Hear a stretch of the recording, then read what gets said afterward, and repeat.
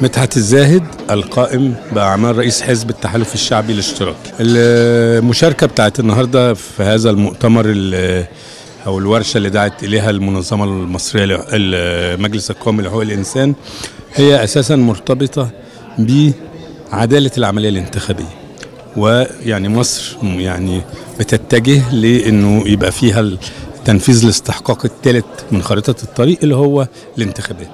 إحنا اتناقشنا يعني بالنسبة لحزبي على وجه الخصوص يعني وإنه من زاويتين ان هناك زاوية. في الانتخابات تتعلق بإجراءات التصويت وهذه الإجراءات إلى حد كبير أصبحت مؤمنة بأنه بيجري التصويت في اللجان الفرعية والفرز في نفس اللجان بوجود قاضي وبوجود مندوبين للمرشحين ومندوبين لمنظمات المجتمع المدني وبإعلان النتيجة نفسها في اللجنة الفرعية. فبالتالي فكرة التلاعب في النتائج أثناء نقل الصناديق بقى من اللجان الفرعية. طبعا هناك بقى يعني مسائل كتيرة تساعد في تطوير العملية دي بس أنا بقول من الناحية الأساسية إن إن ال- الحد الأدنى الضروري من الضمانات أصبح متوفر وبالتالي يمكن إن إحنا نبني عليه ونطوره أكتر. لكن بقى في الطريق للانتخابات بيبقى فيه قصة تانية. الانتخابات اولا بتجري على أساس قوانين وتشريعات معينة إحنا كان لنا ملاحظات مهمة على هذه التشريعات عبرت عنها في كلمتي سواء فيما يتعلق بإجراء الانتخابات بنظام القائمه المطلقة أو ما يتعلق بالتوسع في النظام الفردي. يعني في م- مهم في توصيات أعلنها الأستاذ جورج إسحاق في ختام الاجتماع. فهذه التوصيات تخص ال ال ال ال ال يعني مخرجات هذه الورشة. لكن في هناك أمور أخرى مرتبطة بقانون الانتخابات وبالأجواء اللي بتجري فيها الانتخابات.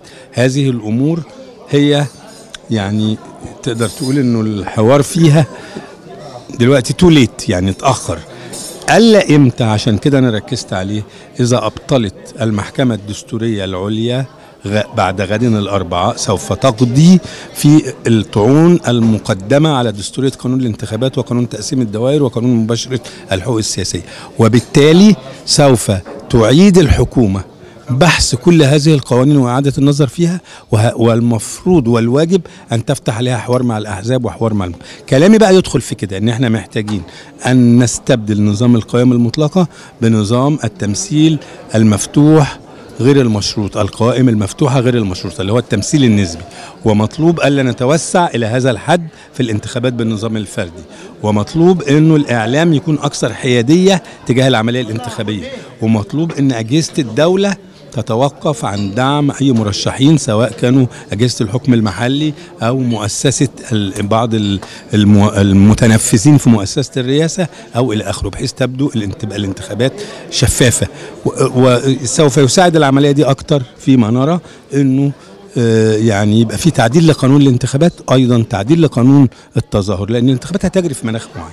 فإذا المناخ ده كان كابح ومقيد للحريات فإنه نتيجة الانتخابات هتكون غير إيجابية وهتبقى سلبية.